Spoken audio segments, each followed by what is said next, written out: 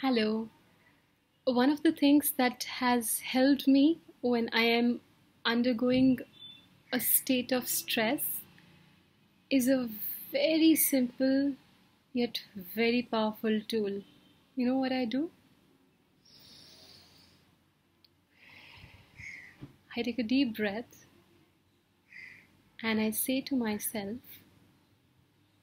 I know that I have the capacity to manage this.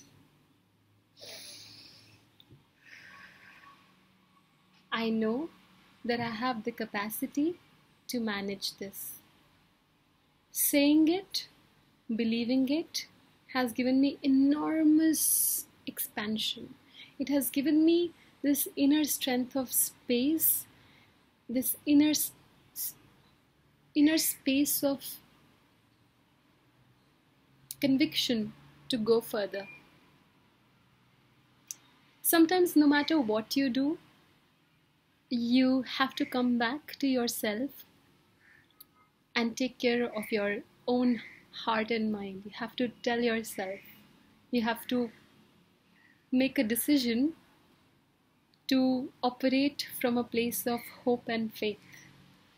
I pray that you are able to cultivate that inner reservoir of unconditional, unceasing hope and faith.